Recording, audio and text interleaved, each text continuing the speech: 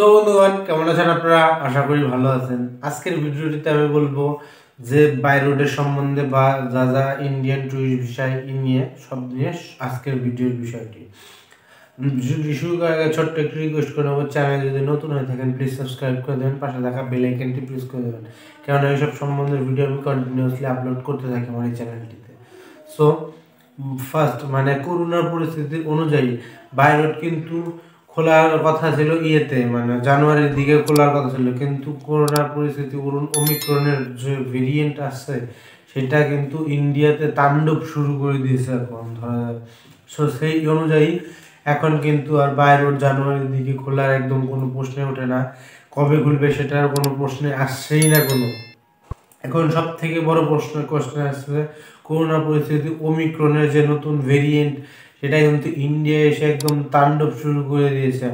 ইন্ডিয়ার মহারাষ্ট্রে একদম খুব পরিমাণে সেটা ছড়াচ্ছে, সেটা ছড়িয়েছে, তারপরে ইন্ডিয়ার পশ্চিম বাংলাও দ্বিতীয় শিকার করতেছে মানে ফার্স্ট শিকার হচ্ছে ইয়েতে মহারাষ্ট্রের দ্বিতীয় শিকার বেশি শিকারিত হচ্ছে পশ্চিমবাংলায়।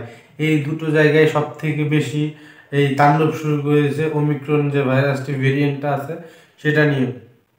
সো এই অনুযায়ী বাইরোডের তো কোনো প্রশ্নে আসতেছে না। সব থেকে বিশ্বের বড় বড় স্থলবন্দর যেটা আছে বেনাপোল, পেট্রোপোল বর্ডার সেটা কিন্তু বন্ধ হয়ে যাবে যে কোনো মুহূর্তে এই করোনা পরিস্থিতির জন্য। এই অনুযায়ী, আর ইন্ডিয়াতে লাস্ট আঠাশ, আঠাশে ডিসেম্বর ছিল, ধরুন চার থেকে পাঁচ হাজারের মতো অমিক্রনের যে ভেরিয়েন্টের শিকার হয়েছে তার এতজন ছিল। এখন কিন্তু সেটা ছাড়ি হয়ে গেছে, চল্লিশ পঞ্চাশ হাজার পার হয়ে গেছে।